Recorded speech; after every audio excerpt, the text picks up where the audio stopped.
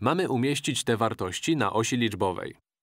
Są ujęte w proste nawiasy oznaczające wartość bezwzględną. Zacznijmy od przypomnienia, czym jest wartość bezwzględna. Wartość bezwzględna. Można do niej podejść na dwa sposoby. Po pierwsze, to odległość liczby od zera. Umieśćmy na osi liczbę minus 3. Narysuję oś liczbową. Nie jest to oś, na której będziemy umieszczać końcowe odpowiedzi. Umieszczę na niej liczby znajdujące się wewnątrz prostych nawiasów, a dopiero później zrobię to, o co proszą nas w zadaniu. Tu na osi liczbowej mamy 0. Liczby ujemne są na lewo od zera. Minus 1, minus 2, minus 3. Minus 3 jest tutaj. Możemy je tu zaznaczyć. Wartość bezwzględna, minus 3, mówi, jak daleko ta liczba znajduje się od zera. Jak daleko minus 3 leży od zera? Sprawdźmy. Znajduje się jedna, dwie, trzy pozycje od zera. Wartość bezwzględna liczby minus 3 wynosi plus 3. To oficjalny sposób rozumienia wartości bezwzględnej. Jak daleko liczba znajduje się od zera? Ale jest też droga na skróty, jeśli nie obchodzą Was definicje. Bez względu na to, jaki znak ma liczba, jej wartość bezwzględna zawsze jest dodatnia. Dla ujemnej liczby minus 3 wynosi plus 3. Dla dodatniej liczby 3 też wynosi plus 3. Zawsze jest dodatnią wersją liczby, że się tak wyrażę. Natomiast z definicji jest to odległość danej liczby od zera. Rozwiążmy zadanie. Umieśćmy wartości na osi liczbowej.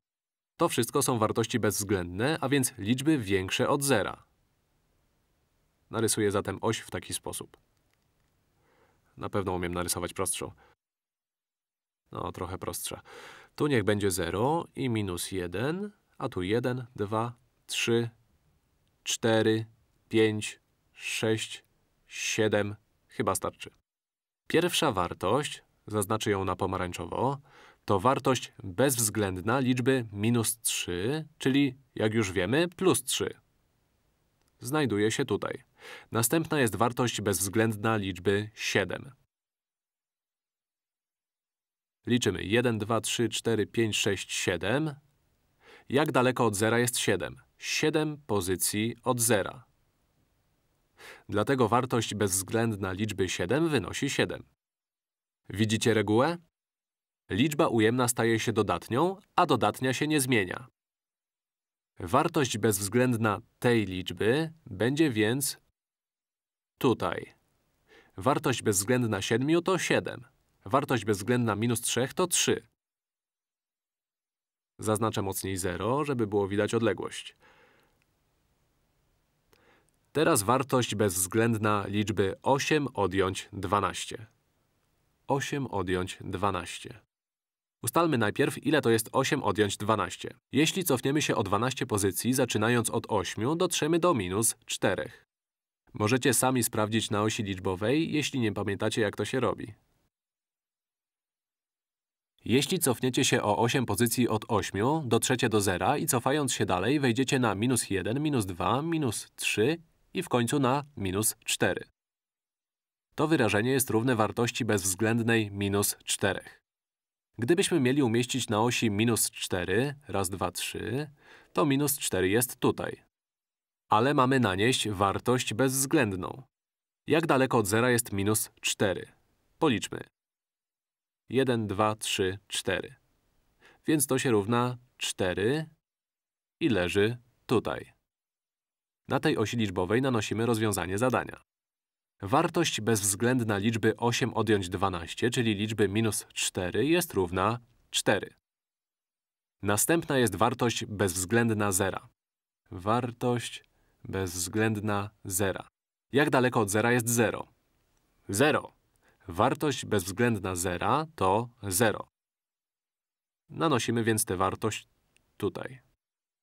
Została ostatnia. Wybiorę nowy kolor. Wartość bezwzględna liczby 7 odjąć 2. 7 odjąć 2. 7 odjąć 2 równa się 5, więc szukamy wartości bezwzględnej liczby 5. Jak daleko od zera jest 5? 5 pozycji. Banalne, dlatego podchwytliwe. Gdybym miał nanieść 5, 1, 2, 3, 4, 5, leży 1, 2, 3, 4, 5 pozycji od zera. Wartość bezwzględna 5 wynosi 5. Na osi jej miejsce jest tutaj. Z definicji jest to odległość liczby od zera, ale wyjaśniając na najprostszym poziomie, liczba ujemna zmienia się w dodatnią, a liczba dodatnia pozostaje sobą. Na tym polega wartość bezwzględna.